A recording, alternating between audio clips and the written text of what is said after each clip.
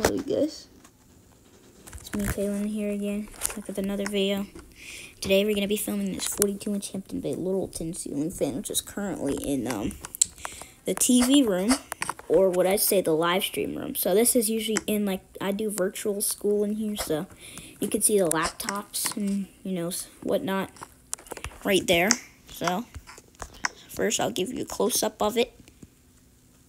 And it uses a ball mount too if you look closely in there. So, and it's pretty much original. It's got the brass screws. You know, the chain connector is original and all that. So, all right. There's the light. It's got a CFL in there. Yeah, it's got a CFL. There's that. Now, let's fire it up low. There's low turn this down pretty much. Here's low.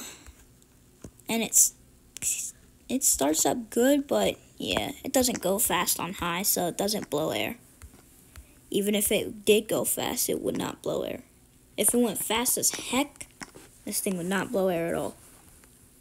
If I'd prefer Toastmaster, I'd prefer CEC Toastmasters. Those things are good. You know, they got the little knob that you use to turn it and then those pole chains, and then you got the big, huge globe in the middle, and you got the spinner motor. Yeah, but those wobble too. The one that I have, my Toastmaster in the living room, doesn't wobble at all. It's in, it's in the brass finish too, so it looks nice. It's a, you know, it's a classy type of fan. You know, I prefer that, a Toastmaster. Alright, I think that's about speed. Let's put it up to medium. Yep, that's about speed, and this fan goes slow as frick. Telling you, it doesn't go fast at all. Now, would I want to prefer these? No, I would not. I wouldn't prefer Littleton.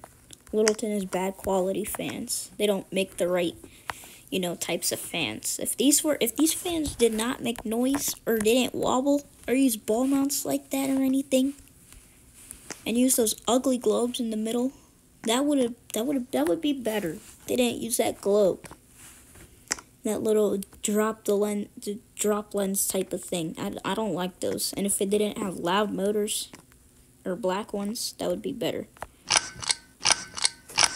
my Toastmaster has a little bit of a noise to it, but it, it's not it's not annoying. I mean, Toastmasters Toastmasters are good fans, you know. It's not like they're bad quality and all that. So anyway, there's high. See, it's wobbling in there, and it's not going that fast. It's, it doesn't blow any air. That's like no freaking air, even on high. It's not it's not even cool in here. It's not even cold in here. Even with the air conditioner on. Doesn't it doesn't cool. The AC helps, this fan does not. Doesn't even circulate the air. It just seems like it appears to be circulating the heat around, not the air. Does that in forward too, and this is forward. Here's the light too. By the way, there's the light. Light works. That's all I gotta say. Well, yeah, this fan is gonna get replaced pretty soon. Thinking about doing that, um, maybe in a couple of months when I when I um go back to work, because this pandemic is still hitting hard everywhere on us. This pandemic is hitting hard. Because these Chinese people be eating bats. Idiots. So yeah, they be eating bats, and that's probably how COVID started in the first place to even begin with. Yeah, it's still going. It's gonna stop eventually. No, I just don't like this fan. It's very ugly. This Littleton here is ugly. I would not recommend getting these, so yeah. Whoever put this up is an idiot. As the person here before we moved here is just an idiot. They're just idiots, you know.